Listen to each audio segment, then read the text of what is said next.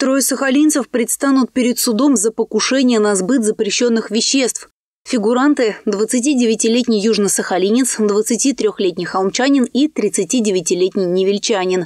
Летом прошлого года мужчины, независимо друг от друга, устроились работать в один и тот же интернет-магазин наркотиков. Каждый из них должен был забрать крупную партию дурмана, расфасовать на дозы, сделать закладки и прислать координаты тайников куратору. В июле минувшего года на след фигурантов вышли оперативники Управления по контролю за оборотом наркотиков МВД России по Сахалинской области.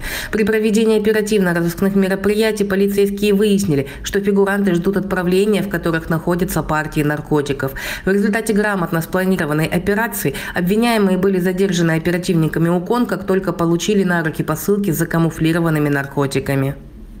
В одном отправлении оказался пылесос и около 191 грамма смеси N-метилэфедрона.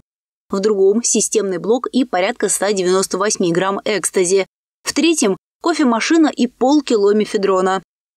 За время расследования правоохранители собрали исчерпывающую базу доказательств вины сахалинцев. Фигурантов ждет суд за покушение на сбыт наркотиков в крупном и особо крупном размерах.